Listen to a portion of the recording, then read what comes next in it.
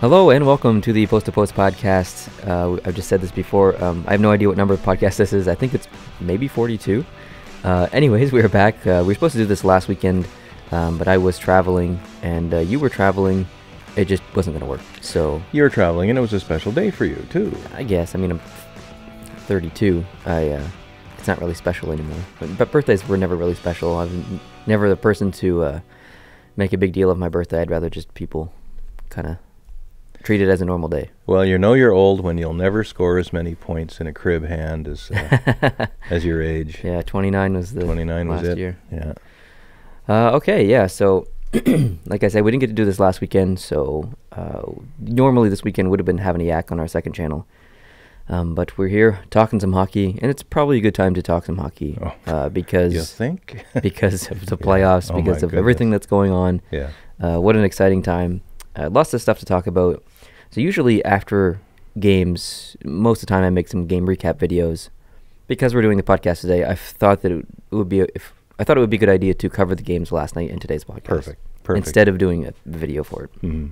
I like it. So uh, we can start with the Pittsburgh Washington game because that was on first. Sure. Uh, we watched that together hmm and that was a really interesting and frustrating game to watch because the first period was I would say a typical a typical hockey period.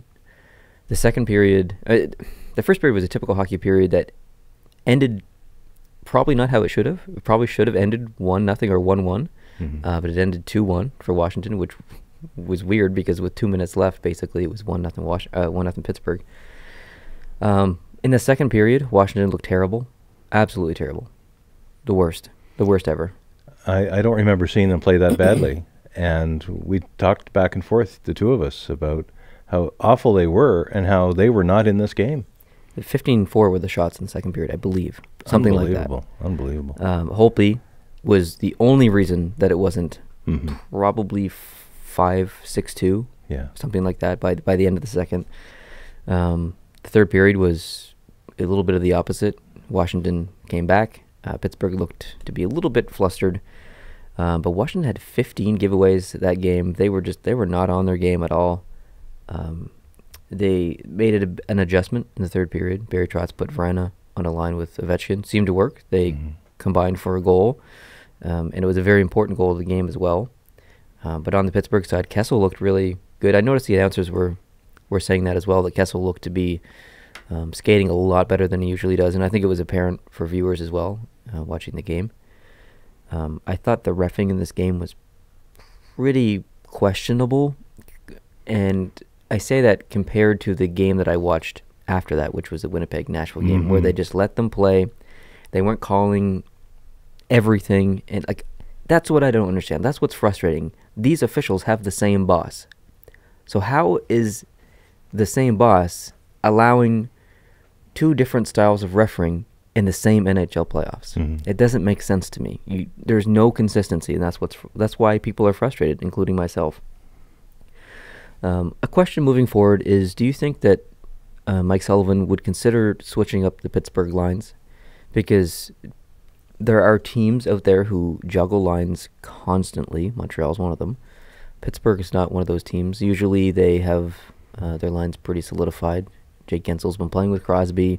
Malkin usually plays with Kessel. I know there's been some changes recently, but Mhm. um, do you think that they consider uh, switching things up?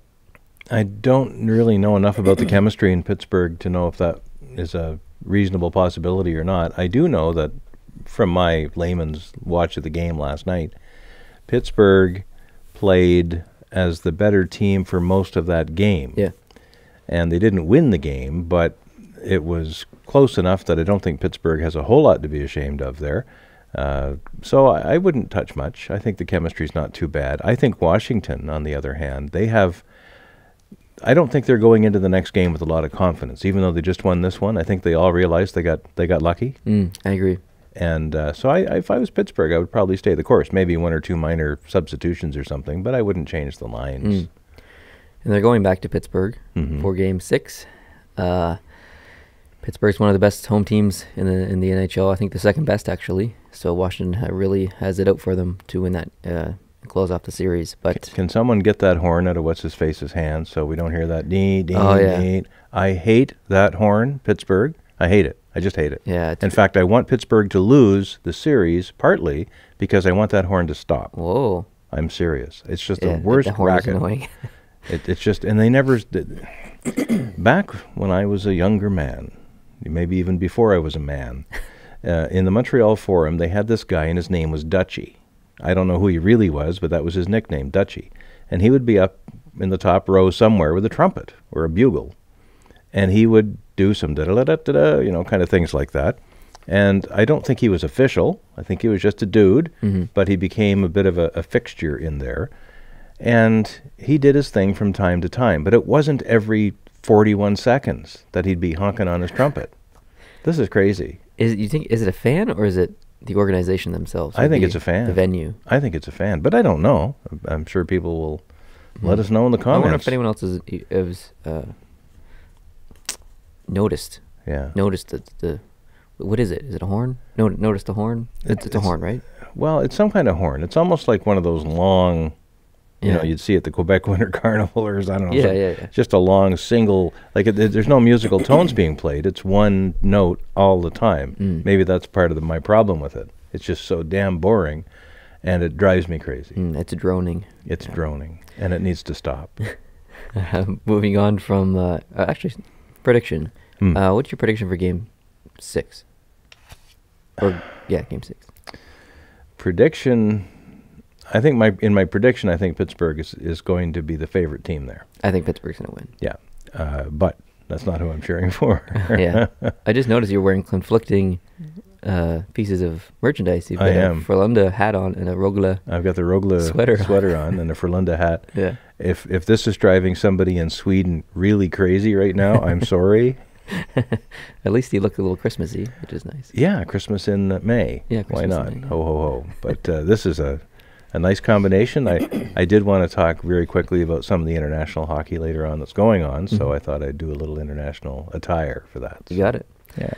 Uh, moving on to the Nashville Winnipeg series. Oh man. uh, or game, sorry, from last night. That was uh, a pretty fantastic game to watch. Um, a little frustrating on both sides at certain points of the game. Uh, did you notice that Nashville dominated the face-off circle last night? I didn't notice. I, I noticed. and I have a reason for not noticing.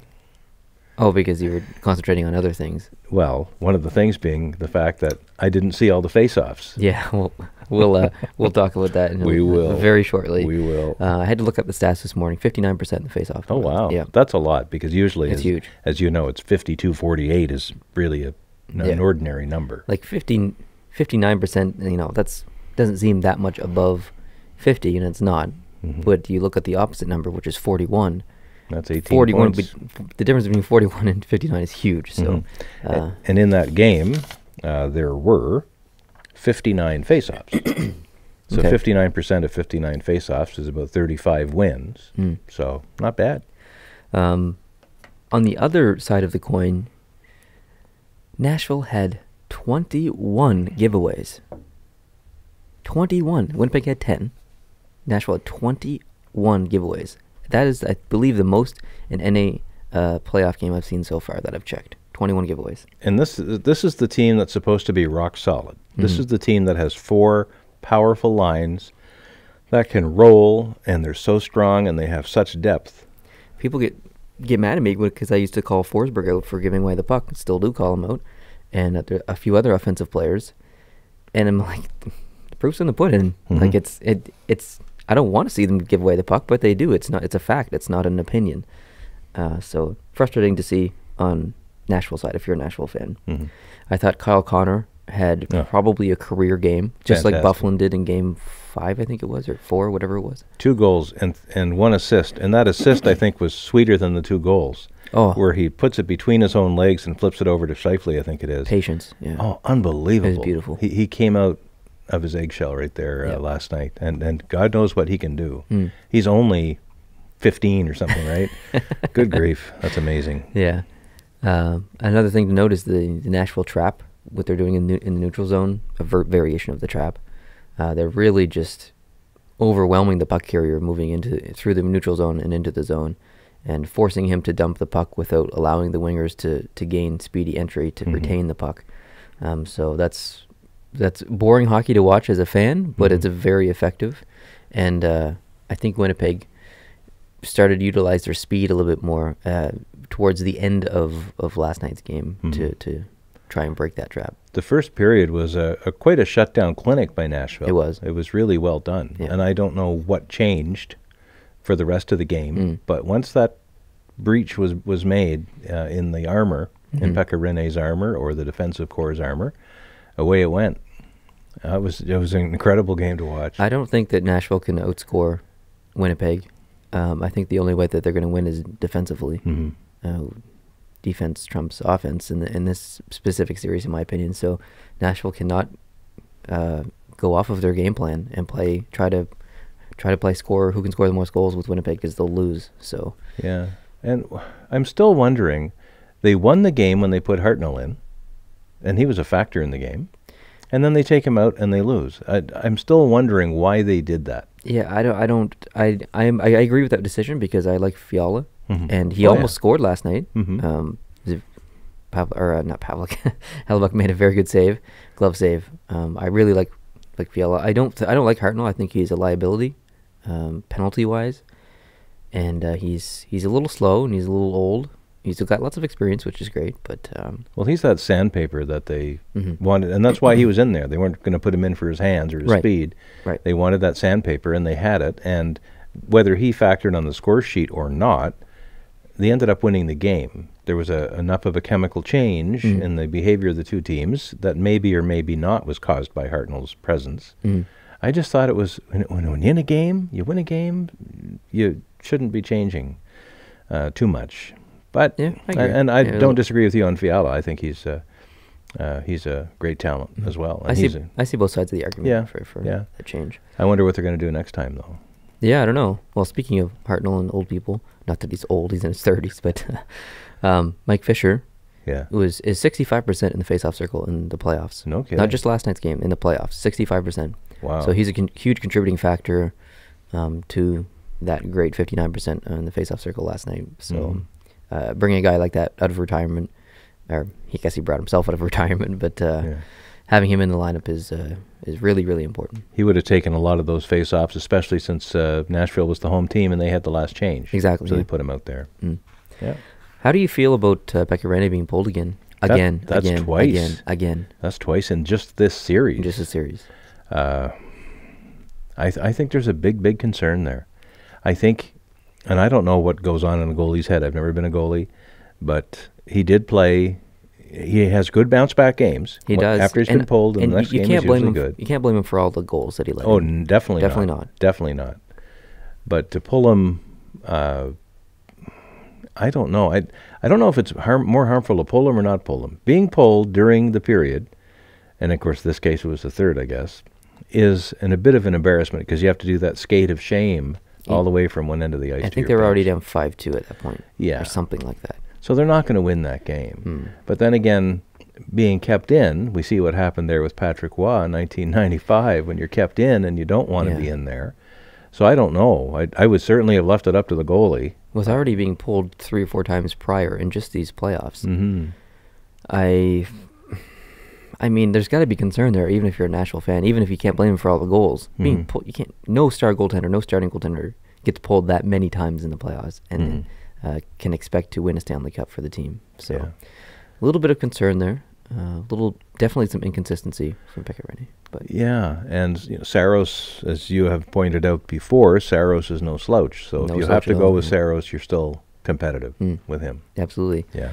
I think uh, n- now that Nashville's down three two, it's obviously a bad thing for Nashville fans and for the team. But Mhm. I think it's also a good thing as well because they had to face Colorado, which was the underdog, very much underdog team. They handled them for the most part pretty Mhm. well. Mhm. Um, but now they find themselves down in a series in a, a must-win scenario, two games in a row.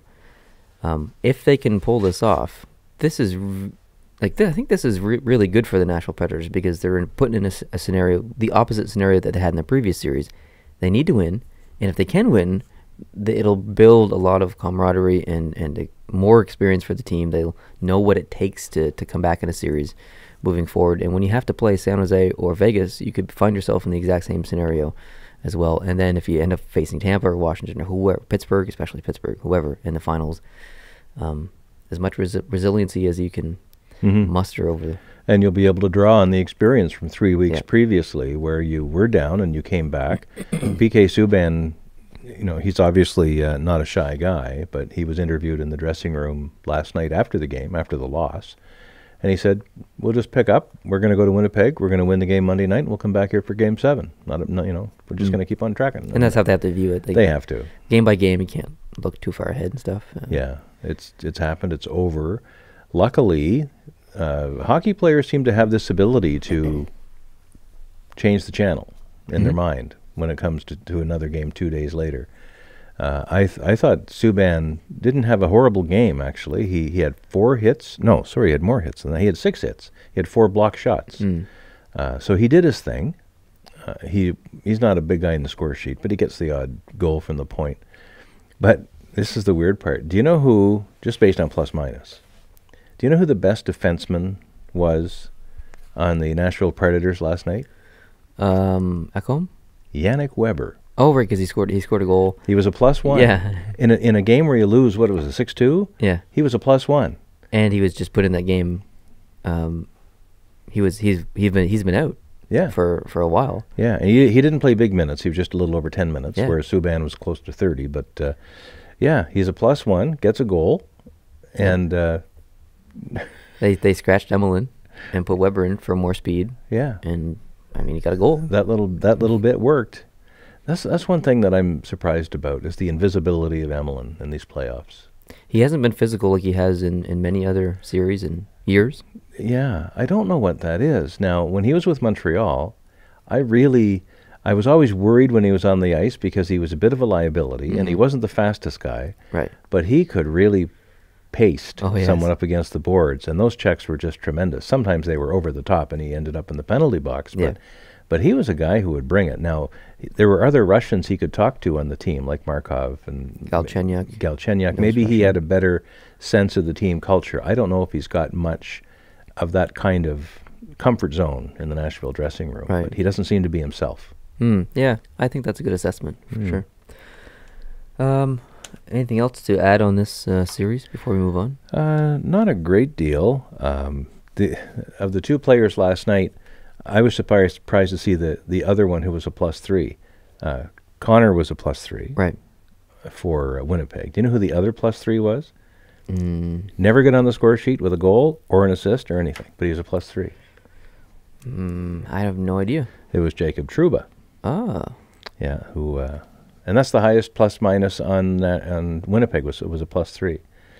So I, was, I Hmm. thought that was interesting. Now Trouba's big game was the previous game or a game earlier in the se- in the series where he Right. you know lit her up. But uh, yeah, he's still he's still on the ice when good things happen. So Cool. that's uh, that's good to know. Yeah. That's it. Well, that's it. Other than for the fact I was going to talk about the face-offs and stuff, but uh, if you want to move that to later, I'm, cool- I'm Um, cool with that. Well, actually, uh, um, missing face-offs is, is next on my list Oh, to talk about. cool. I have a comment that I want to read. Mm-hmm. So this is coming from uh, someone named Kyle. Just let me move my mic a little bit. Okay, so if you guys don't know, we made a video recently on why CBC is missing so many face-offs, and we counted and and stuff. Uh, frustration on on our part, and by the look of the comments, a lot of other people. Yes, a I was, lot of. I was people. surprised to see the fairly unanimous Yeah. weighing in there. It was good. So this is a, a comment, and uh, I would like to read it. And oops, hold on, it's disappearing because I zoomed in. Uh, crap. Okay, so he says, uh, on my college campus, I work for the television services. It is a good job and it pays well. My point is, making a live broadcast is a hard thing to do. I can I can only say for the cameraman and camerawoman because that's my job. But the cameras are consistently looking for something new to see. Um, absolutely right. Totally. Uh, that's their job. You have to look for, for things in the crowd and stuff and, and to see and, and players. He goes on uh, to say, uh, sometimes without uh, much time until the broadcast turns back on back on your camera. The control room is the problem in the situation for Hockey Night in Canada. There might be uh, a problem with the CBC because of their budget, because uh, maybe they don't have enough cameras to switch to. Um, incorrect. no offense, Kyle, that is incorrect. They have 300,000 cameras to switch to, and that's part of the problem. um, again, not the cameraman's fault.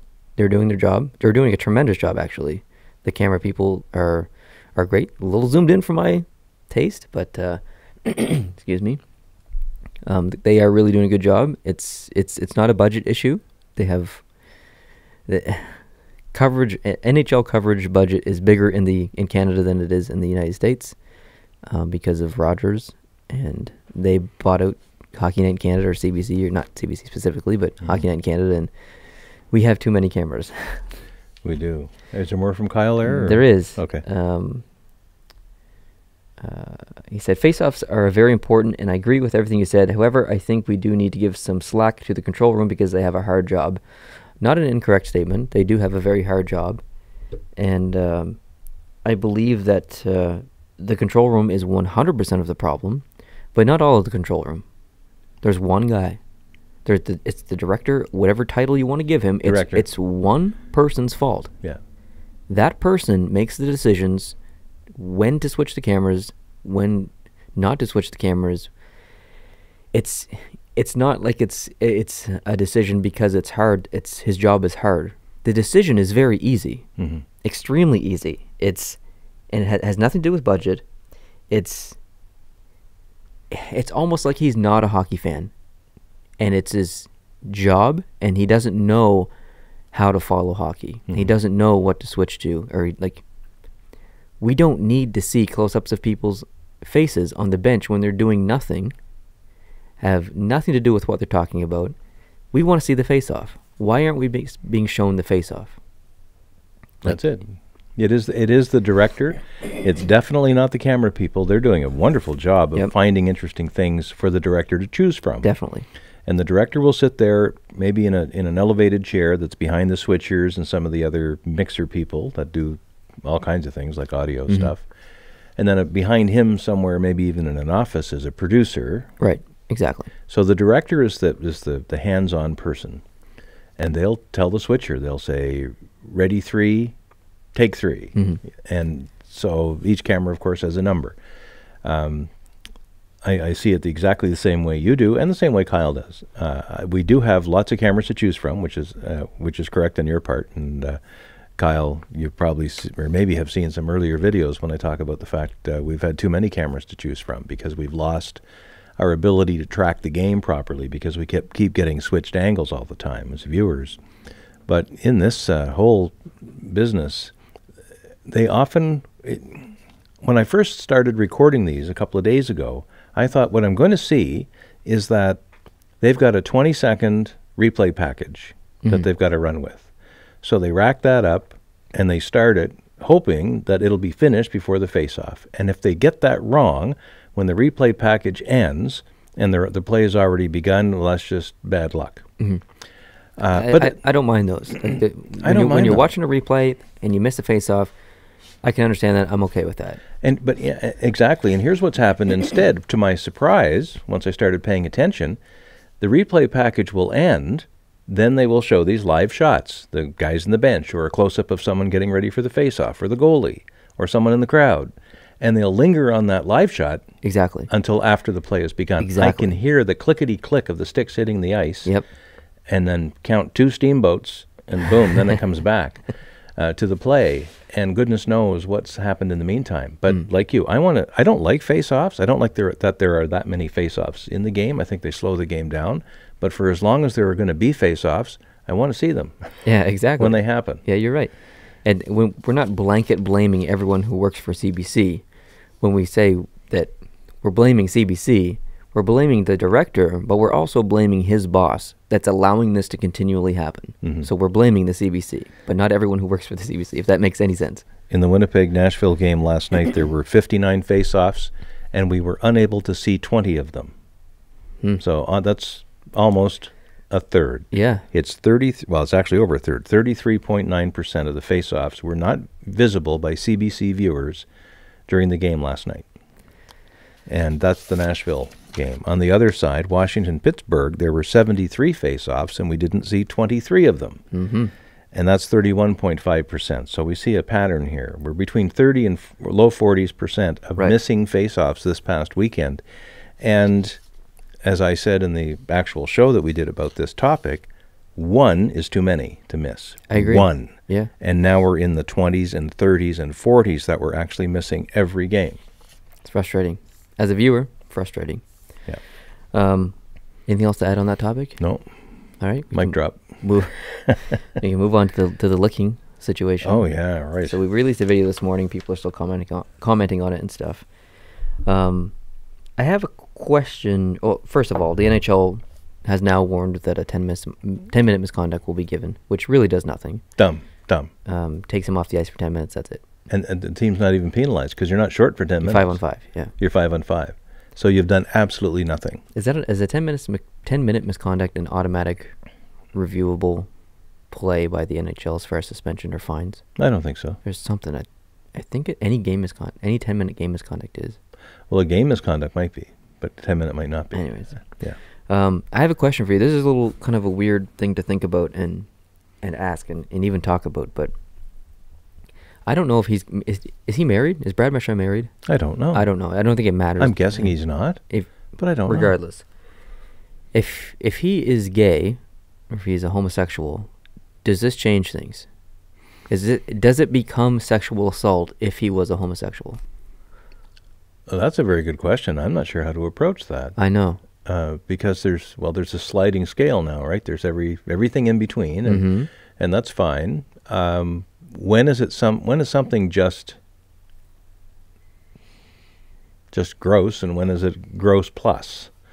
Uh, I don't know. I think I think there's an argument to be made that that if if he you would treat that the way he would go up to, let's say he was not gay, let's say he was heterosexual, Mhm.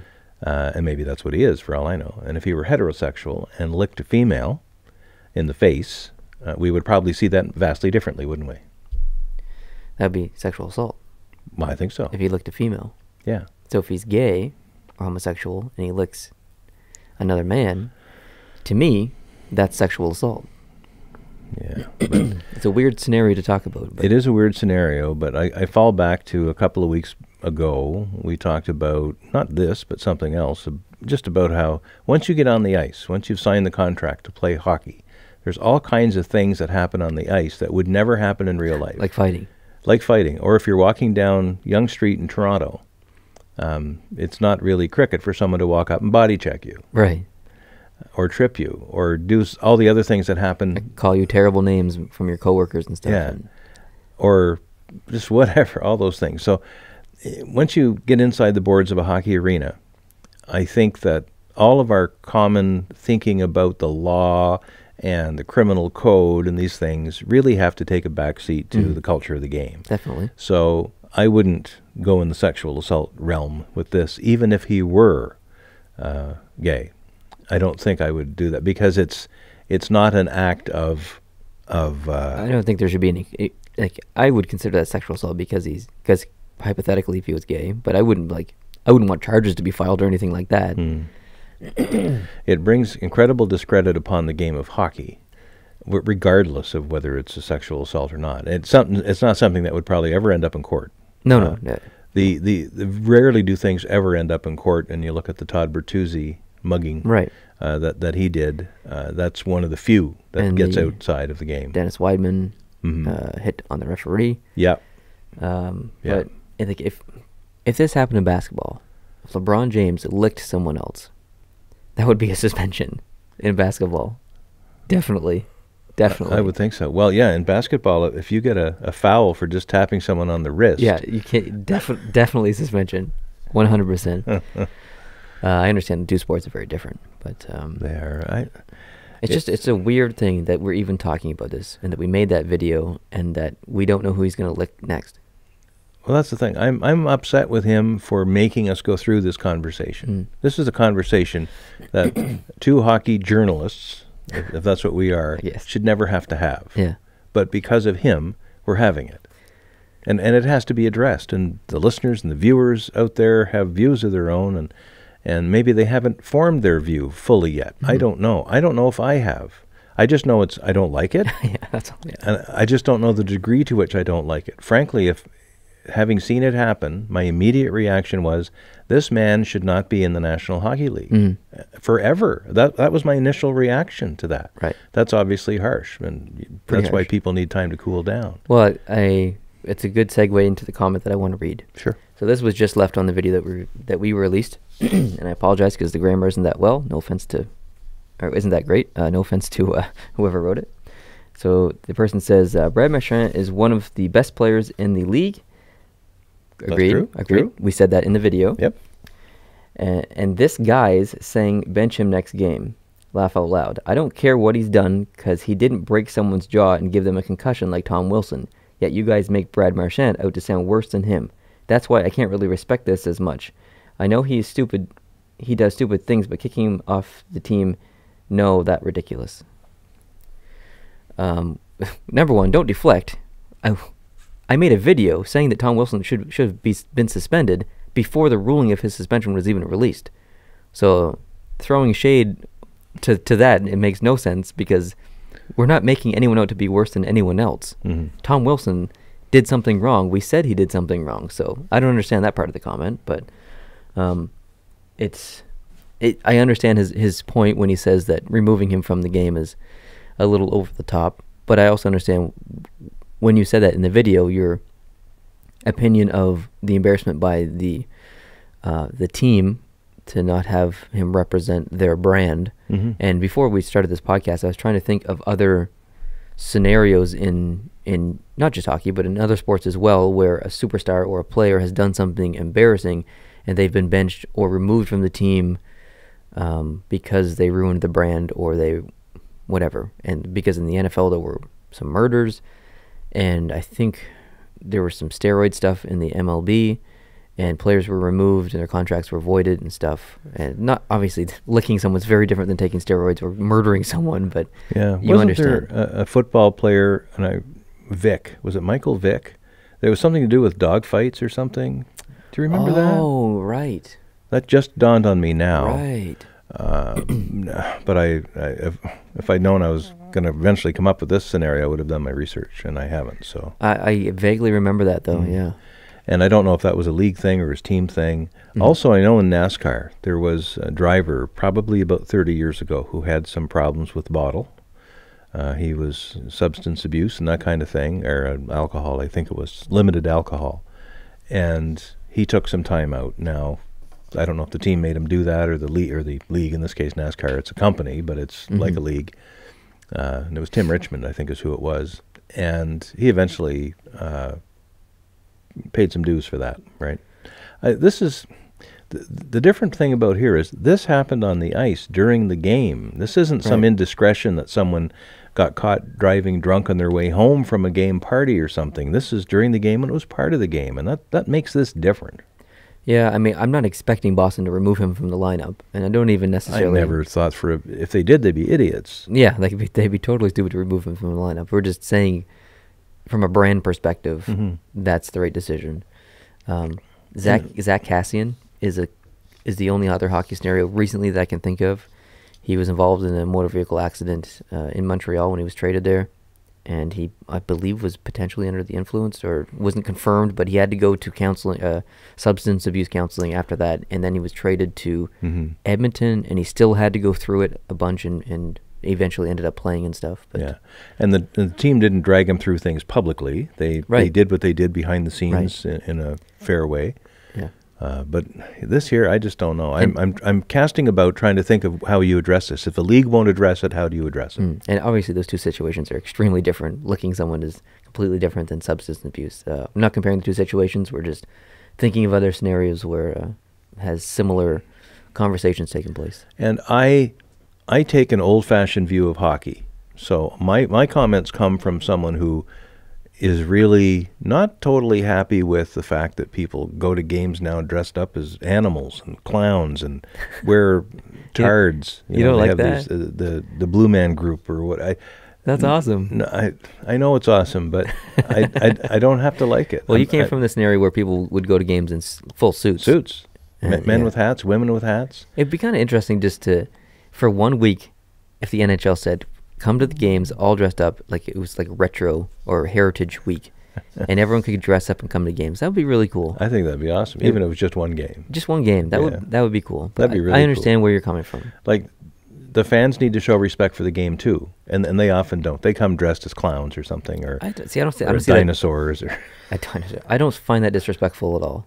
I think that's a celebration of the game. well. But here's what I do find disrespectful: is that fan that sits right next to the penalty box, and it's like those two guys Vancouver had, those green guys or yeah. whatever. You think that's dis- disrespectful? I totally, totally. Oh, see, I think that's comical. I, really like. I that. laugh. I laugh just like the other person. I, I think it's funny when they do their thing and they're dancing and they're trying to get the guy off his uh, Yeah, yeah. focus. I, I I love it in a way, but I really don't. Can you imagine that exact those two people going back in time to the 50s or 60s in the in the forum in Montreal, sitting next to the penalty box, and them doing that? They did. They'd they'd finish the game in a dumpster. yeah, they back, would. yeah, they which would. is where they probably belonged yeah. back then. I understand though. Speaking of time travel, if you have sent me this piece of paper with all my notes back, uh, we'll say eight months before Mhm. the season started. right. So I got this piece of paper. I'm like, whoa, this must be from the future. I mean, Nashville and Winnipeg have never played a playoff series against each other. Let's let's look at the rest of this piece of paper. Pittsburgh, Washington. Well, that's not really a surprise. They play every playoffs. It seems that it's probably going to be a good series. Nashville, Washington would, uh, sorry, Nashville, Winnipeg would be a really good series. Uh, missing face-offs. Mm, yeah, that, I'm. I, I'm not surprised. I'm, I would be talking about that. That's Mhm. that's a, uh, an issue now. Eight months ago. Um, and licking. Why do I have licking on this list? Yeah. What, what, what's going on eight months from now where I'm talking about licking? Did some team give another team a bad enough beating that they said, "Boys, uh, Nashville gave a licking to Winnipeg the other day"? That's probably literally what I would. That's what I would have thought. But I also have down here, ten minute misconduct and then sexual assault if gay, question mark. so, uh, yeah, weird. It's a weird day. It's a weird time. Uh, next on my list, if we can move on, sure. is the NHL draft. Something we haven't really oh yeah. discussed. hmm Excuse me. So there was some teams who jumped up the the ladder Mhm. and uh, got pretty lucky. Uh, I'm going to read you the list of the top 12 teams in order of how they were uh, drawn, I guess, or whatever, drawed. Uh, Buffalo's number one. Carolina is number two. Montreal is number three. hmm Ottawa's number four. Arizona's number five. Number six is Detroit. Number seven is Vancouver. Number eight is Chicago. Nine is the Rangers. Ten is Edmonton. And 11 and 12 are both the Islanders because they have Calgary's 12th. Uh, they have Calgary's pick, which is number 12, I believe. hmm So I'm not going to name all of the, the players who could potentially get drafted in those positions because they'll fluctuate a bit and uh, yada yada yada. But I'm going to name the top four and someone else. So number one, uh, Rasmus Dahlin or Dahlin, however you want to pronounce it, is slated to go first. He obviously probably will. Slated to go number two is uh, Andrei um, Svechnikov, and we got to watch him in the World Juniors. Uh, he did very well. And number three is Filip Zadina, who was also in the World Juniors and did very well. Number four is Brady Tkachuk, um, who was also in the World Juniors and did very well. um, and uh, from there, there's names and names and names. But number 10, Edmonton. Noah Dobson is slated to go number 10. My prediction right now is that he will move up this list. I think Noah Dobson will go before 10. Uh, I think I think he'll probably go around 7 or 8. That's my that's going to be my draft prediction. But uh, it's hard to say with some of these picks. Mm. Uh, I mean, Montreal's in an interesting position because they have four second round picks. I believe they have three fourth round picks. They have a really good first round pick. Uh, it's there's been rumors of Pacioretty moving at the draft. Montreal has a lot of pieces to to think about moving in and around here. I'm wondering if they. I don't think they're going to trade up to get uh, Svechnikov for number two. I think Zadina and him are same level. Mhm. The, uh, Svechnikov is six two, is six feet even. Very similar style players. I don't see Montreal trying to work up to get Dahlin or Dahlin, however you want to pronounce it. Um, so I don't see Montreal trading their pick. I know it's been rumored. I don't see it. I could potentially see Carolina trading their pick for a current player, someone like. Honestly, I don't even know. I'm not even going to make speculations as to who, but I can see Carolina because Carolina never expected to get that pick. I don't necessarily believe they need uh, that player. I think they need to work on their back end a little bit. So I can see them potentially trading that pick. I don't think they will, but I could I could understand the argument of them uh, doing that. And obviously, Buffalo would be crazy to trade their first round pick, uh, or yeah. So, um, do you have anything to say about the, what? What's your thoughts as a Canadiens fan that they moved from fourth to th- third? Oh, I was absolutely thrilled. I I opened up some champagne. We moved up a notch. Um, I just think that it's such a gamble these days, the draft anyway, Mm. that it probably in five years' time we'll be looking back saying, "Huh, You don't know, right? It's like know. predictions. Like people are still commenting on my bracket prediction video, making fun of me for picking Anaheim as if they were the genius and knew that they were going to get swept. It's comical. you don't know. You make predictions. You're wrong sometimes, and sometimes you're right. So And uh, certainly, all the teams in the league have been putting a lot of scouting effort into watching these characters play in various parts of the world, Europe or uh, in, in the junior leagues in North America. They likely have a pretty good handle on the potential. Then, of course, you've got NHL Central Scouting that does a more holistic and comprehensive look at everybody. But some teams identify certain players and they're below the radar, and that team is zeroed in on a player. There was a story, I think, in the game last night oh, I'm trying to think of, of who it was, but it was a great story where a team had sent a scout to look at player A. I think they were somewhere in Saskatchewan. And while they were there sizing up player A, which was the one they were thinking of drafting, mhm. he saw player L. and he was really impressed with player L. And they never ended up having a crack at player A because he went before they got a chance to pick him. Mhm. But he went back to the head office and said, "Keep an eye on this player L. If we, we, we need to get this guy." And they got him. And I think it was like the 27th pick in the round, or maybe it wasn't even the first round. And they got player L, and he's now one of the best players on the team. this is a great, is it? It would be a better story if I could remember who the heck it Well, was. Good job. Yeah, thanks. But but it was it was a great story. and this happened, but this happens all the time. Was it Ehlers? Uh, maybe it was. I don't know. Mm. Did he play junior hockey in the, we- I have the no West? idea. No idea. Yeah, uh, I'm not sure. The, my first thoughts on this draft lottery thing, I just think it's sad that they make it into this sorry spectacle that it is after the second period of one of the playoff games, and they line up these GMs, Yeah. and basically it, it that's the lineup of shame. Uh, hi, folks, we're here in this lineup because we suck so bad last Yeah. year that we have a crack at the number one pick this year. And then they have three. It's, it's just like The Bachelor or It is. It is a little strange. You're right. It, Yeah, it does kind of feel like The Bachelor. What did you feel, or how did you feel about them uh, forcing us to wait to find pick one, two, and three uh, after? Like they, w- mean, they made us wait till the second, the second uh, intermission Yeah. to release those final three ones. What do you? How do you feel about that? Well, as a viewer, I, I want to know now. It's the, the decision's already been made. They just haven't flipped the card over yet. Yeah. And just why drag it out? But I understand why. There's they want to keep the viewers engaged. They want to, people to see it in real time. Mhm. So I understand why they do all that dog and pony crap. But I I'm not in. Uh, in fact, had I not been watching the game anyway, and that came up, I probably wouldn't have bothered even making a, a point to try to watch it because I just would have said, well, I'll read it in the paper or Hmm. online tomorrow. Do you want Montreal to draft Zadina? Um, well, the, the little bit I've seen him play, I wasn't overly impressed. But I'm not a scout. I, I watched Connor McDavid play in person when he was uh, playing for the Erie Otters. I wasn't impressed. You weren't impressed. I wasn't impressed. I thought he was lazy. I thought he was Ovechkin-like. He was great when he had the puck, and when he didn't have the puck, he just glided back to the bench. And and uh, I thought he was lazy and not putting in very much effort. You'd be a terrible scout. I'd be awful. I'd be just awful. So maybe that's why I'm making the big bucks in the podcast. I I really like Zadina. Uh, the only thing I, the only thing I'm concerned with him about is his cherry picking. He was cherry picking so much. Obviously, the Q is a different league. You can get away with that stuff in in the Q. Uh, in the NHL, that's not going to fly. hmm There are certain players who are very good about uh, and sneaky in getting around the defenseman and, and uh, sneaking behind there for breakaway passes. And Zadina was trying very hard to do that in the game that I watched uh, in person, but I don't think that flies in the NHL. So Mhm. I'm interested to see him play at the NHL level.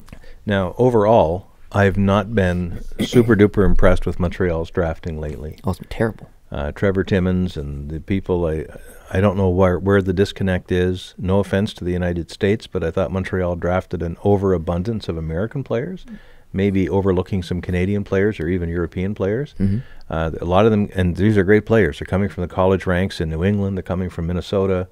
Uh, the, these are great players. But you know, the Ryan McDonoughs of the world. We drafted Ryan McDonough. Of course, we gave him away. Uh, we drafted a lot of other great players and gave them away. Yep. And Sergachev is another example. Gave him away. So if you're not going to keep the damn player, why'd you draft him? Yeah, like they- exactly. they need to have a bigger meeting in Montreal, I not just the draft people, but uh, Jeff Molson or whoever it is has to sit down and say, okay, folks, do we actually have a plan for the future? Because if we draft somebody, I want to lock this person in for the next ten years. Mm. They the only few they've done that with is is well, Carey Price is, is the last real example of a high marquee type player that they drafted, locked down, and they still have. Su- Subban would have been the most recent one, but uh, Gave him away. gave him away. Yeah. Uh, I, I don't get it. Gallagher, I guess. is- Gallagher was a great an, ex- an exception because he's a, a Yeah. the unicorn because he wasn't drafted very high. That's right, and a smaller guy, Mhm. hardworking guy.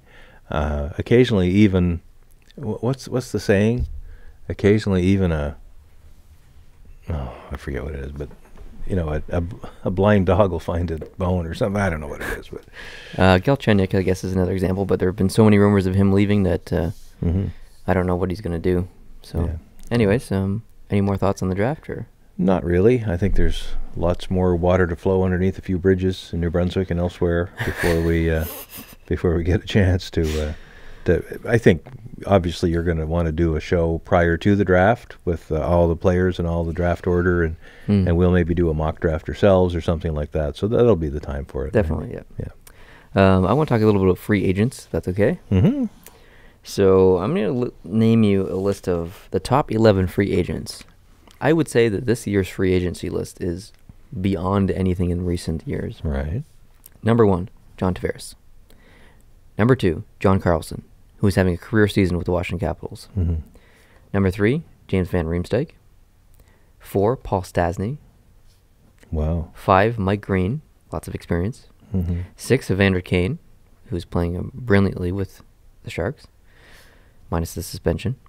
Seven, Ilya Kovalchuk, with his potential return to the NHL. Number eight is James Neal. He's a free agent. I think Vegas will lock him down. But number Mhm. nine is Joe Thornton. Ten, David Perron. And eleven, Rick Nash. So there's some pretty big names on that list, and I suspect that a few of them will be moving, a few of them won't. I think uh, JVR will be moving. Um, I think Mike Green will be moving. I think uh, Thornton has the potential to move, and I think Rick, Rick Nash will be moving. Tavares, obviously, we've had this conversation a thousand times. It's not really any sense of talking about it anymore. Nothing's changed. Um, we don't know anything. So, Mm-hmm. what's your thoughts on on any of those players? Do you see those players going anywhere specifically? Do you would you, as a Canadiens fan, would you want Montreal to go after any of those players? I really think Montreal. I'm.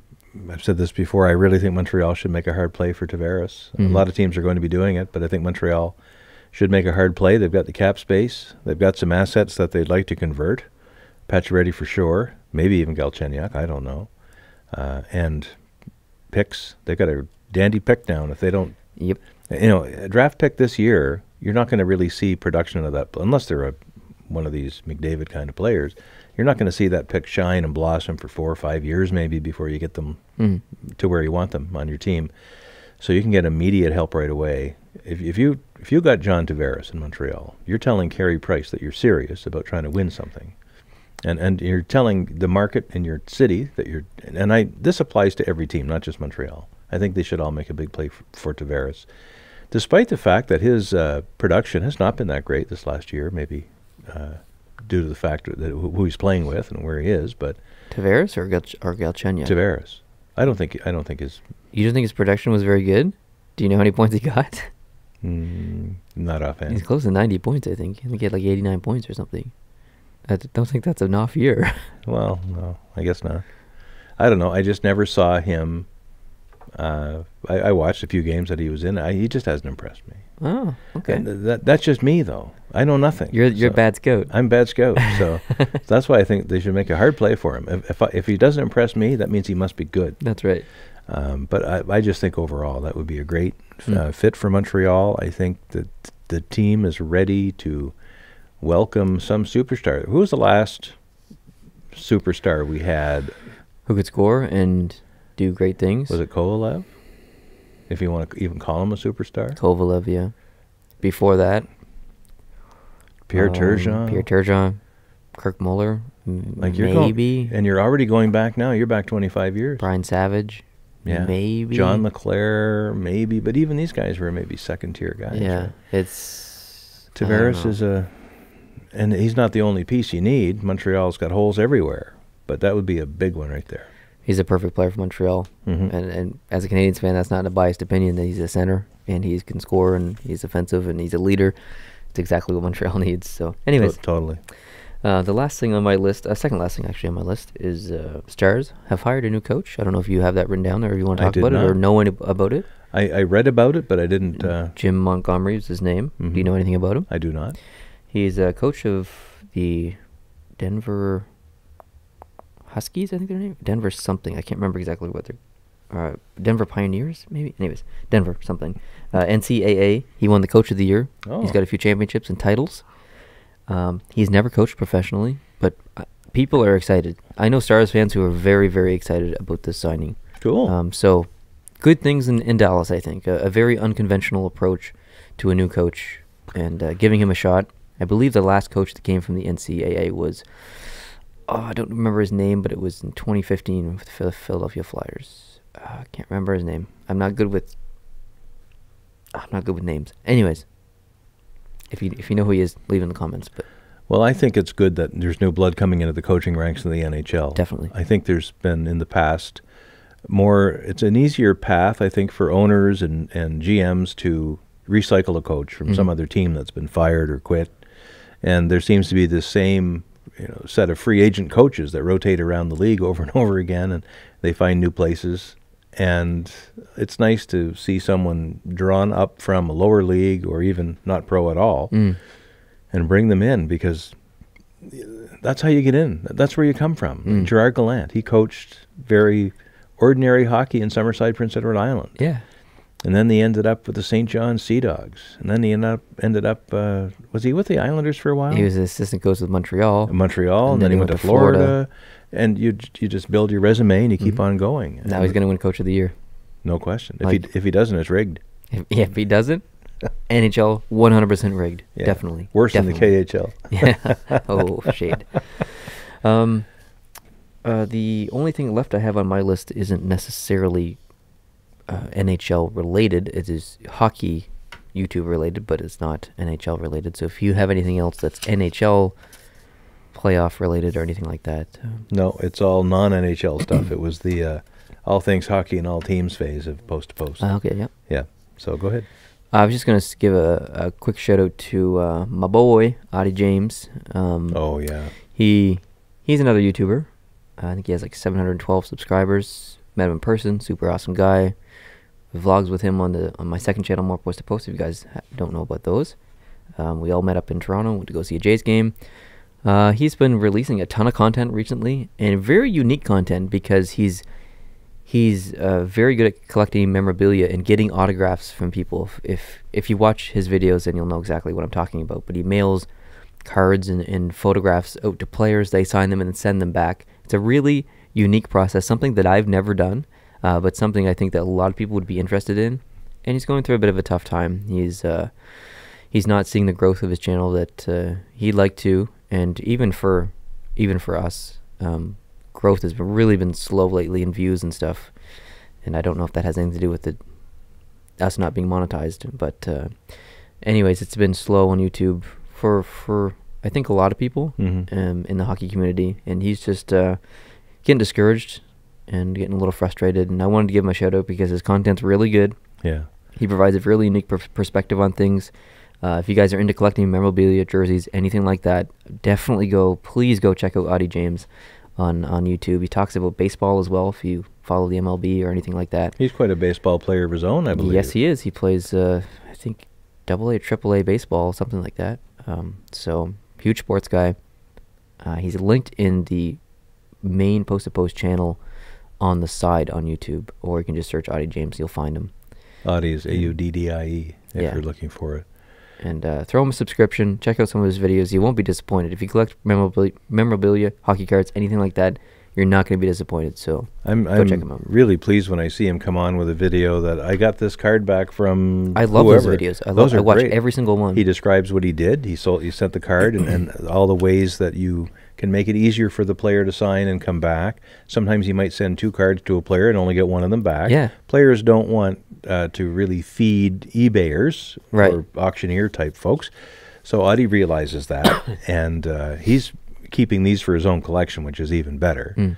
But uh, he- and not just the sending things away, but standing in a certain spot at the arena and when to get the players after yeah, practice. because he Uh, lives in Calgary. He's, yeah, I think it's great. He knows what players will and won't sign usually and stuff. Yeah. Uh, so it's really he's really knowledgeable when it comes to that. really knowledgeable, and he's a very well spoken young man. Very well-spoken. He's going back to school again, Mhm. uh, and he's also working full time. There's no no wonder that he doesn't have a lot of time for YouTube if YouTube is not responding back to him in the way that he probably deserves. So Yeah. yeah, Yeah, definitely go check him out. That would be awesome. Yeah. Um, support other hockey YouTubers for sure. Stole that line from Andrew Pillock. Shout out to Andrew Pillock. Go subscribe to him too. um, yeah, that's all I got on my list. Um, what? And you want to talk about some world?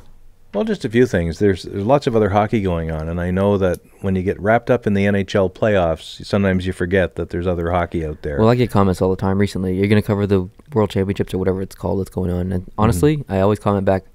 I haven't followed any of it. I don't know who it's who. I don't have no idea who's won any single game. I don't know what's going on because I literally don't have time. And it's unfortunate. If I could do this full time, I'd watch all those games. But I'm just I don't I don't have time.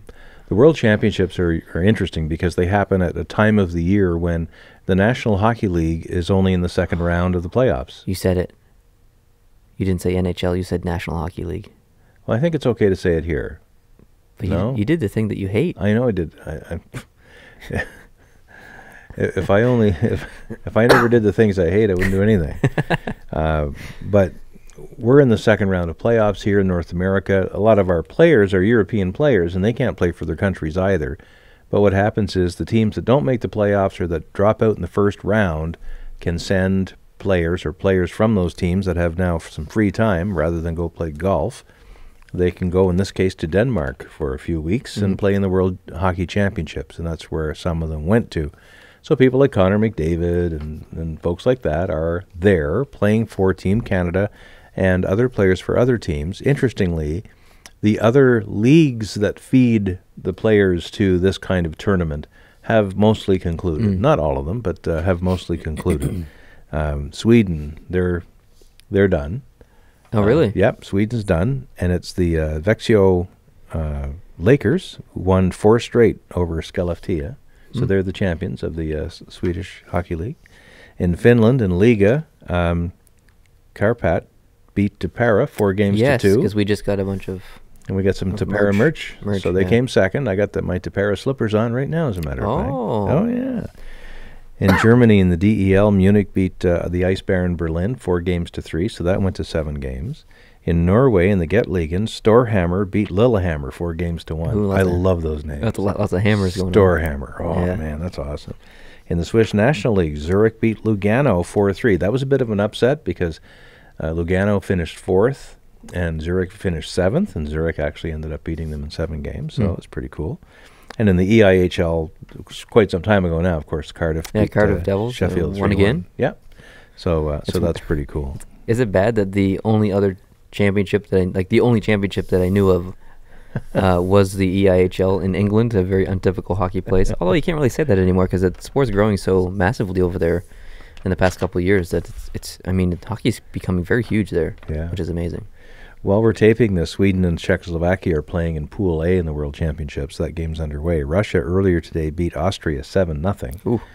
Canada played this, its first game against the United States and lost 5 4 in a shootout to the Americans. hmm Canada played their second game this morning and beat South Korea 10 to 1.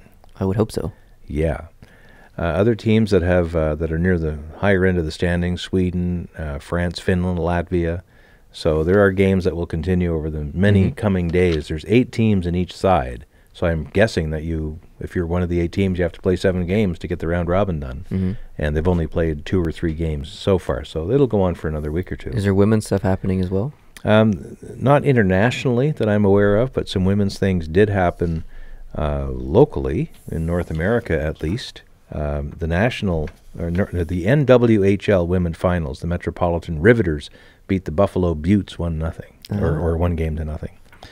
And uh, in the CWHL, the women, the Kunlun Red Star fell two games to one to the Markham Thunder. Oh, Yeah, so that's a, but Kunlun Red Star from China got into the finals. so that was the finals. That was the finals, yeah. I think last year the. Uh, I can't. I think I watched the finals, the final game of last year.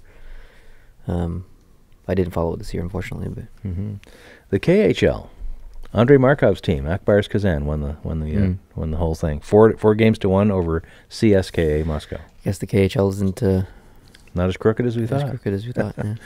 Um, so yeah, I, I take back things I said about the KHL in the past. Maybe. Definitely. Um, how about the SPHL? Oh yeah, there was a big upset. Uh, uh, not really an upset, but I think Peoria lost, right? Uh, no, they didn't. Uh, in what I'm seeing here, hopefully my sources are, and I didn't use ESPN. Uh, there are still some uh, semi or quarterfinals on the go. Oh, okay. The Peoria Rivermen are up uh, two games to nothing on the Roanoke Dogs. Oh, The Pensacola Ice Flyers are trailing two games to none to the Knoxville Ice Bears. Uh, the Macon Mayhem are up two games to one on the Evansville Thunderbolts. And the Huntsville Havoc lead the Mississippi River Kings two games to one. I think I was. I can't. Maybe I was thinking of a different league. Maybe so. I don't know. Anyways, In the AHL, uh, the Lehigh Valley Phantoms and Charlotte Checkers are tied one game apiece in their series. The Toronto Marlies are up two games to nothing on the Syracuse Crunch. Game three of that is today. Uh, Manitoba Moose are trailing two games to none to the Rockford Ice Hogs. And the Tucson Roadrunners and the Texas Stars are tied at one game. I guess there won't be a repeat champion this year because the uh, Grand Rapids Griffins aren't on your list. They're not on my list. so Nope. good to see. Uh, good to see a different champion every year. Mm-hmm. Um, the ECHL. That's what Leo's waiting for. Okay. Uh, the Adirondack Thunder and the Manchester Monarch- Monarchs are tied two games apiece. The Florida Everblades lead the Orlando Solar Bears three games to one. No. Yes. The Fort Wayne Comets are uh, 3 2 over the Toledo Walleye Heck games yeah. so far. And the Colorado Eagles have already advanced to the next round. They swept Idaho four games Ooh, straight. Steelheads? Uh, the Eagles, says here, Colorado Eagles. No, but I. I Oh, the Idaho Steelheads. Steelhead. Okay, sorry. I, I didn't write it down. So oh, so- I think I think that's Steelheads. I think you are probably correct. Um, now, w- one thing that I wanted to close off my stuff with was the incredible run of the Charlottetown Islanders in the QMJHL playoffs. Right. Since this is the first podcast since the uh, the Charlottetown Islanders were defeated. Talked a little bit about that in a recent video that you probably didn't watch because you don't watch post to post videos anymore. But I don't watch them all. I watch almost all. you watch the ones that you're in. well, th- they're the best ones, right? Yeah. Um, anyway, the um, Charlottetown Islanders weren't supposed to even get in the playoffs. If you look back at the early early in the season, they Mhm. started off one six and one, and it was no way. Abysmal. They got to Christmas time, it was like they have they're able to knock on the door of getting in the playoffs. And then in the early part of this 2018 year, Mm. they kept doing well and got in, snuck in to the playoffs, and instantly took down the Halifax Mooseheads and swept them.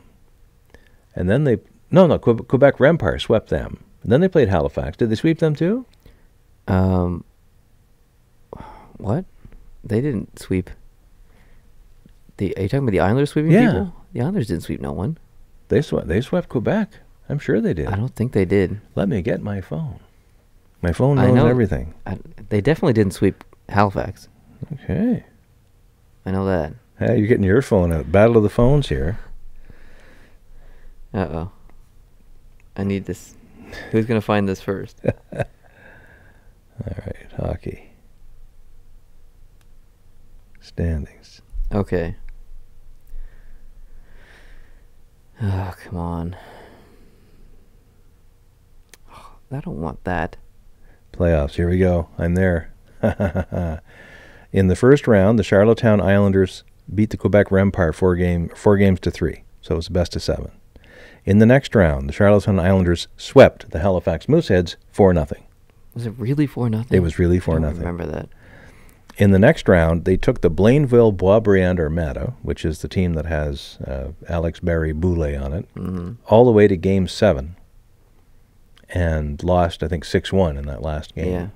And that's when they bowed out. Had they won that game, they'd be going to the league finals Right. against Acadie Bathurst. Uh, Acadie Bathurst beat uh, Victoriaville to four straight to get in the finals. And right now, Acadie Bathurst and Blainville Boisbriand are tied one game apiece. Ooh. Yeah. But a tremendous run on, on the part of Charlottetown. Really well done. And this bodes well for next year because next year the Memorial Cup is going to be hosted by Halifax. So the QMJHL gets two entries because it has to be a four team tournament. So if Halifax doesn't win the league, uh, they will be in along with whoever wins the league. If Halifax wins the league and is in as the home team anyway, then the second place finisher, Right. the loser of the final, Right.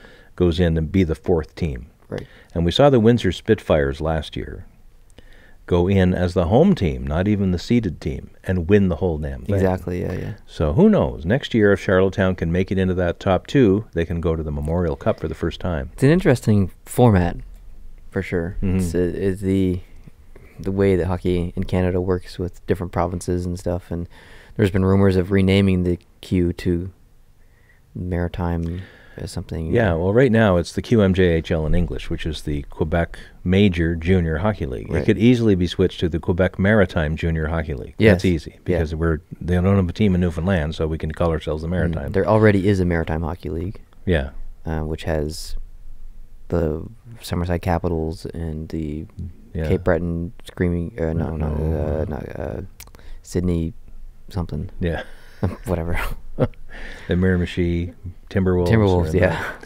Uh, but anyway, in Canada we have three junior, major junior leagues, and the problem with with the name of the Quebec League, of course, is because it's it's a shared French English Mhm. name that we have to have, and uh, in it's uh, it's either the LJMHQ or the LMJHQ. I think it's that second one. So it's a Ligue Major Junior Hockey de Québec.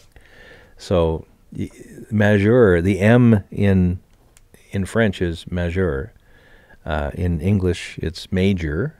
Could you switch that to maritime? Could you have Ligue Maritime Junior Hockey de Québec? Like it doesn't. You almost have to have Quebec and the Maritimes together in the in the initials. Yeah, but they're French and they're not going to want to change that. Oh, I, I think they'd be open minded. I know don't think so. The president of the league has said we need to do something. Really? Oh yeah, Oh, well, good on him. yeah. Good for yeah, them. no, he's he's responded to that, saying, you know, this is we have to find a way. He didn't agree to a certain way, but we have to find a way to try to make the name of the league geographically correct, Mm. because there are actually three other provinces that contribute teams to that league, And they instead of just can't have the Q and then a separate league for the three teams that aren't, or whatever the teams, or the four teams the Cape Breton team, Halifax Mooseheads, Charlottetown, and Moncton. and, And St. And, uh, Saint John. Oh, and Bathurst. yeah, so there's actually six Just- teams down here. Yeah. uh, and we're all in, in the same division, along with Rimouski and uh, and a few other places. I think Yeah. so. Yeah, the eastern part. Um, now there are two other leagues in Canada, and I should not forget those. The Sault Ste. Marie Greyhounds uh, beat the Hamilton Bulldogs uh, four to two uh, in the most recent game. So those two teams are tied one-one in their series, and the Everett Silvertips uh, lost uh, 4-3 to the Swift Current Broncos in overtime, and they're now tied 1-1. Mm. So there are six Canadian teams in the junior circuit left alive, and a lot of the players on these six teams are going to be in the draft list that we talked oh, about yeah. a while ago. Definitely. Yep. Yeah. Absolutely. Mhm. Um, so that, if that's all you have, and that's all I have. Yeah, well, today we're going to have some fun. We're going to be watching Boston Tampa Bay this afternoon, Yes. and then tonight it's uh, it's going to be a tremendous game. I'm nervous. Are you I'm. I mean, I'm excited. nervous because you Well, because you're worried San Jose might lose? here's the thing. I kind of teased this a little bit. If Vegas wins uh, tonight, and they move on to round three, I have been offered guaranteed tickets to um, a home game in Vegas for round three, 100%. So if Vegas wins tonight, I am 100% going to Vegas for round three for probably game three, whoever they face, whether it's Winnipeg or Nashville. Um, I don't know the date of that yet. It's going to be between May 13th and 19th. It depends on a whole bunch of stuff. Uh, it'll be around there whenever that game, th- first game three home game, because they don't have home ice advantage, whoever they play, Mhm. because Winnipeg and uh, Nashville both seated higher than in the, than them in points in Mhm. the Western Conference. So, um, if you live in the Vegas area and if Vegas wins tonight, um, I'll probably be doing a meetup in Vegas at some point somewhere there. Uh, again, this is still all hypothetical because I'm assuming that San Jose is not going to come back and win. Um, but hypothetically, if Vegas wins, then I'd like to do a meetup in Vegas, and I think that would be fun. And uh, uh, if anyone has any tips or anything like that, uh, as far as what to see and where to stay, I'd I'd like to spend, I'd like to fly in the day before the game, stay the night, uh, spend some time in Vegas during the day, go see the game that night. The following day, spend an entire day, maybe traveling outside the city, maybe rent a car just for the day, go see the Hoover Dam, do something I don't know. Um, come back, stay the night, and fly out the next morning. Mhm. That's what I would like to do. So if anyone has any suggestions of what to do, uh, or the best place to rent a car, or the best hotel to stay at, something like that, that's I'm going to be in the process of booking flights and trying to find the best deals and stuff like that. So if anyone has any suggestions, let me know. Obviously, again, hypothetical because we don't know if Vegas is going to win. So. Mhm. And a big thanks to Chris for for offering his tickets. He's actually uh, he has the tickets and he's traveling and he won't be able to go. He's going to, I believe, Italy or somewhere. So I'm not sure of Chris's last name. I don't want to say it on here because I don't know if he wants anyone to know. But uh, big thanks to Chris for even making that offer, regardless if it happens or not. So pretty Mhm. cool. I'd love to be your travel buddy for that, but yes, I'm there's I'm in Ohio, so or I, I- will be. There's going to be two tickets, and I do have a second person available, um, or willing to come with me. And I won't reveal who that person is until um, this situation becomes a reality. So Are they a post to post uh, person, like a, a fan or a subscriber? they or- are a subscriber. They are a, a, a Patreon member, and they live not too far away. ah, So from from there. yeah, So they're American, they're American. Yeah, right on. they're American, Texas. Yeah, Oh, yeah. So Excellent. should be fun. Should be should be a lot of fun actually. And if that ha- does happen, I'll be making videos the entire time I'm there. I'll be making vlogs. I'm going to be making normal videos there. Uh, just all kinds of stuff. It's going to be a ton of fun. Once in a lifetime opportunity. Normal videos, abnormal videos. More videos. Yeah, very excited. Well, it's the place to be. Yeah, Uh, definitely. This is and it's this is history. You're you're able, you're going to be able if this happens, you're going to be able to be a witness to history. First year expansion team, the best expansion team ever in the NHL. Third round. Third round, one round away from the Stanley Cup uh, finals. Crazy. I have And- to go. And you know something? If you go in person, you're going to see every face off. I'm going to see every single face off. That's yeah. incredible. I can't remember the last time I saw every face off. Yeah. Um, um, it's it's exciting. It's very exciting. But if anyone has any any suggestions, like I said, deals on hotels or flights or anything like that, let me know. Anyways, regardless, moving on. You're a AAA member, so you get the discounts on that stuff. I If guess, that makes yeah. any difference. And- All right. Well, Yeah. thanks for joining me for this podcast. well, it was a lot of fun to get back in the swing. So we'll be having a yak next week. Yeah, next weekend having a yak. and the week after that, I'm in Dayton, Ohio. Uh oh. So I don't know what we do. Well, I, don't- I might not be here either. I don't know when. Oh, that's right. You'll probably be. I don't know when this the, this the games fall. So You should you, you should do your podcast from Las Vegas. heck yeah, definitely upload it from there. Definitely. Boom. I don't know if I can upload it from there, but I'll definitely do it from there. Uh, how much equipment can you take with you? I can't take all this stuff. Yeah. I can take the lapel mics. That might That's be ea- what you have that's to easy. do. And maybe w- if your uh, travel companion wants to be a part of the podcast, that'd be awesome. Yep, he definitely would. That'd be great. Yep. All right. Uh, appreciate you guys w- uh, watching on YouTube if you are. Uh, if you are and you're not subscribed, please hit the subscribe button. If you like this podcast, hit the like button down below on YouTube. If you're listening on iTunes or Google play music or whatever you want to call it, or any podcatcher, whoever you listen to this, uh, I really appreciate it. Uh, we we love that everyone comes back to the podcast every single week and spends their time watching it or listening to it because it's not a it's not a short thing. We're at a, an hour and 15 minutes Ooh. basically right now, so uh, it's a huge time investment in your life. My so goodness, you're long-winded. yeah, I know, right? The the fact that you uh, include us in your life is uh, pretty special. So thank you for that. Really appreciate it. Hope you guys having a good day, watching lots of hockey. We'll see you in the next podcast. Adios.